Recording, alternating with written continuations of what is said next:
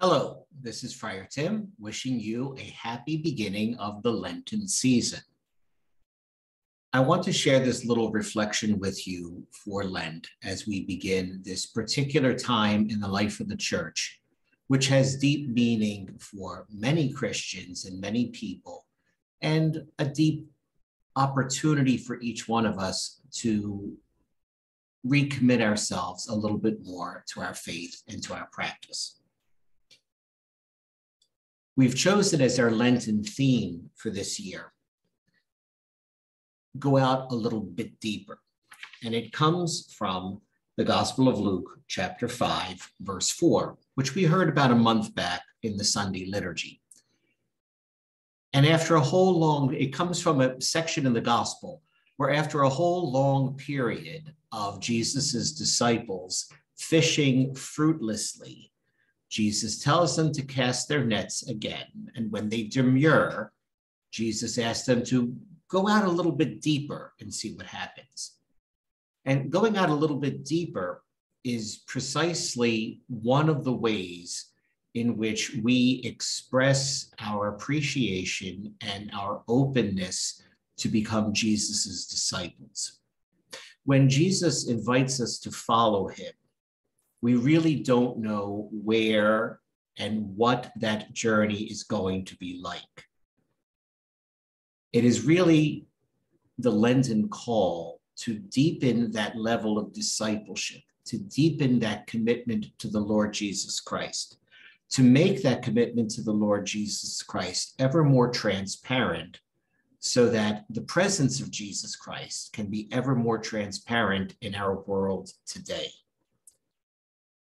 We've also come up with a little bit of an acronym to describe what it's like for us to be disciples in the world today and various ways in which we can deepen that discipleship through one way or another. The acronym that we've come up with is called PATHS, P A T H S.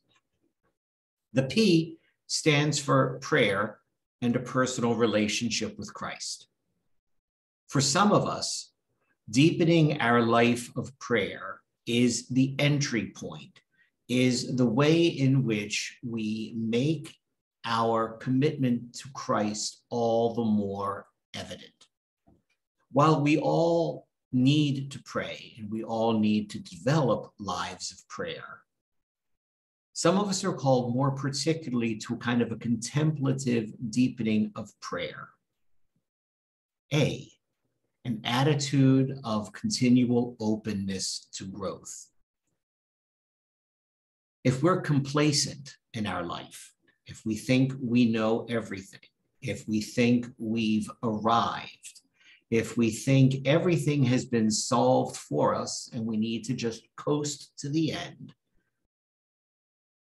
a pathway for deepening our relationship with Christ is really just being openness, being open to changing situations, changing patterns, or to quote the Second Vatican Council, to be able to read the signs of the times and to respond to them with a great level of openness.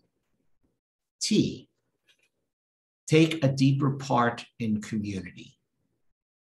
We're all painfully aware of the individual nature of American society and how that has really impacted many of us one way to counteract this is to take a deeper part in community, whether it be Orange County Justice United, in community building in our local area, whether it be the Newman community and getting more involved in our church and parish life, or whether it be more deep involvement with the civic community around you, or just maintaining a good contact of friends and family when we connect horizontally with other people, that horizontal connection can serve to deepen our relationship with Jesus Christ.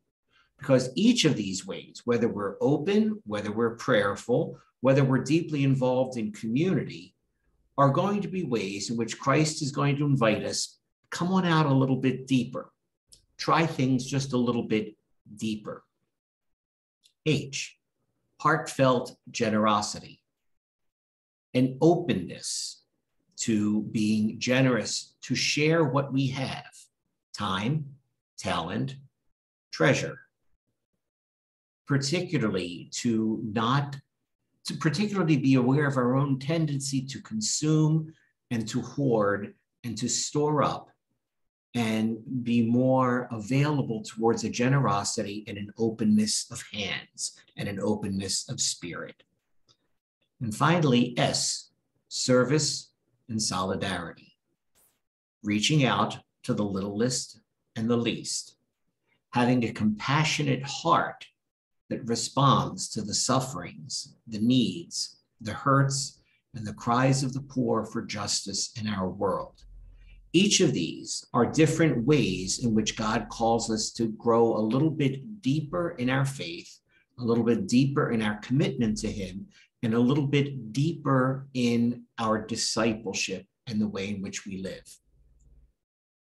During Lent, Newman's main spiritual focus will be to celebrate evening prayer each of the Tuesdays of Lent at 7 p.m. Evening prayer consists of the singing of three psalms and a few other prayers, and it will be accompanied by a reflection on one of these paths prayer, attitude of openness, take a deeper part in community, heartfelt generosity, service, and solidarity. We invite you, or I personally invite you, to come and be a part of these Tuesday evening sung evening prayers at 7 p.m. each Tuesday evening as a particular way to deepen our life of devotion. I call your attention to some of the things that will be happening later on in Lent Newman's communal penance service for the, for the Piedmont Deanery of the Diocese of Raleigh will take place on Thursday, April 7th at 7 p.m. Extra confessors will be available. In addition, we'll be having our regular confession times, Wednesday, 5 to 6 p.m., and Saturday, 4 to 5 p.m.